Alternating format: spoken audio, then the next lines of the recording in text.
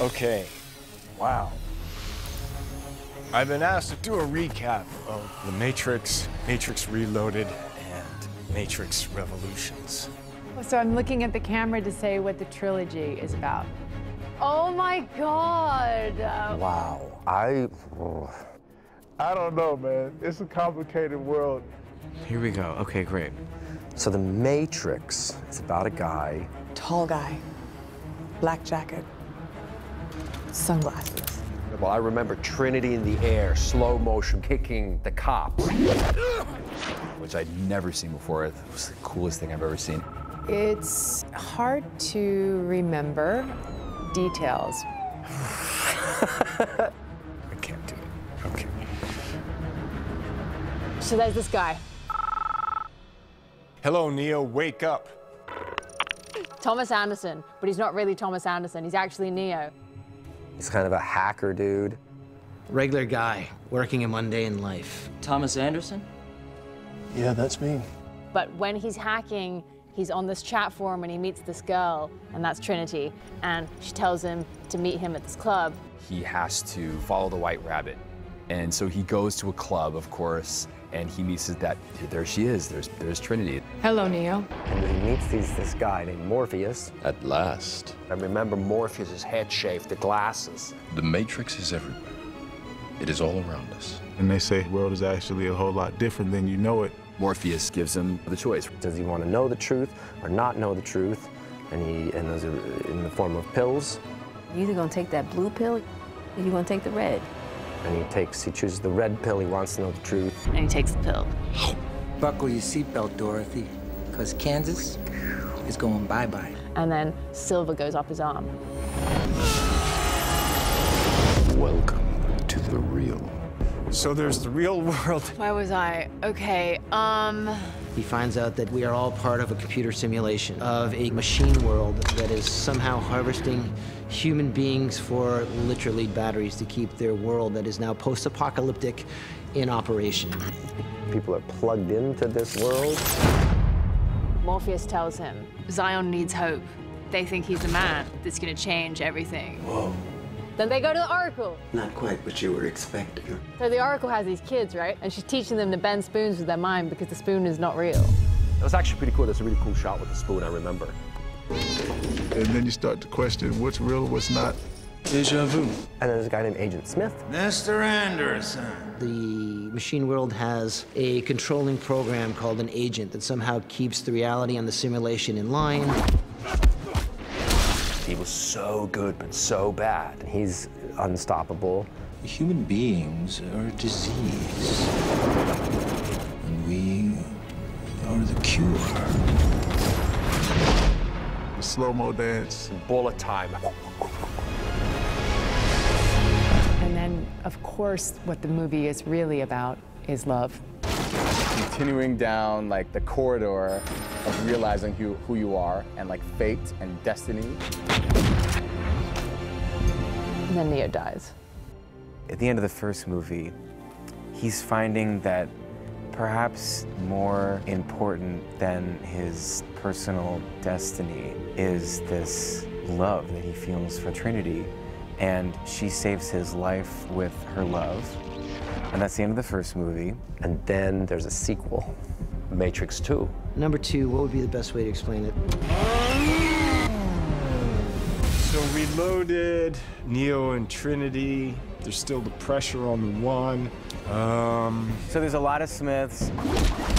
There's a huge orgy. He flies. Banging the door, coming in, seeing Keanu, him going, hmm, upgrades. Only Human. And there's a French guy, I lost my wife, the beautiful Persephone. yeah, yeah, yeah, yeah, yeah, the yeah. key maker. These guys that have long dreadlocks. Oh, and then there's like the greatest car chase in Film history. Morpheus on top of the truck. I have to get the key maker. I always loved when Neo puts his hand out and the bullets all just fall to the ground. I love that shit so much. Ugh.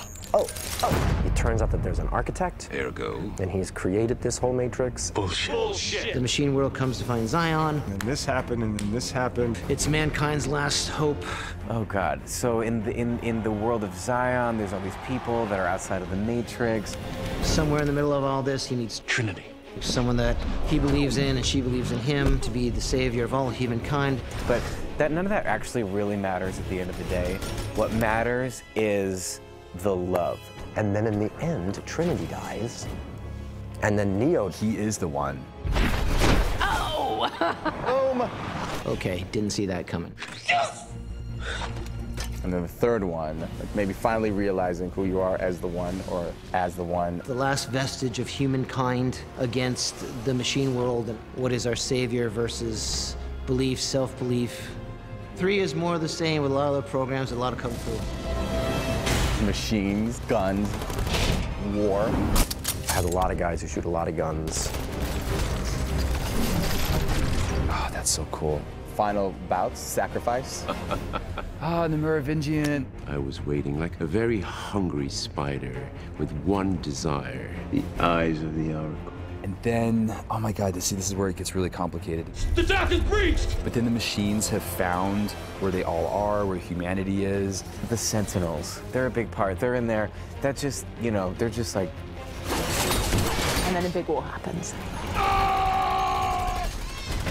very end of the whole story, they end up flying in, the, in this ship into the machine city. Neo has to like save humanity. Mr. Anderson, welcome back. Neo fights Agent Smith. Agent Smith gets lost into the Matrix. The Smiths get destroyed because Neo and Smith, the dark and the light, coming together, because we all have both, and not seeing them as enemies. Which then ultimately makes the dark side go away. And Trinity kind of sacrifices her life for her love. Neo sacrifices his life for the good of the world. And then Neo dies with Trinity. And they love each other. And it's really sad. You're not sure what happened. Did they die? Is it over? Or like, did he completely like save the world?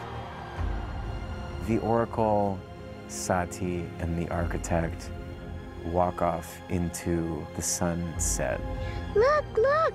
At the end of the day, Matrix 1, 2, and 3 is a love story that progresses through time. What is our savior versus belief, self belief, identity, non identity, reality, non reality, coexistence, and existential realism of who we are as a people and who we are as an individual, thrust upon us through the machine world and the battle for survival. The entire trilogy leaves you with all these questions. That what is real? What is reality? Why am I here? Are we in control of ourselves? Who the f am I? Conformity. Why, Mr. Anderson? Because I choose to. There's something else that pops. This is one really cool mind trip. Whoa, that's what the Matrix is about. No one can be told what the Matrix is. It's deep. Yeah, there's so many things.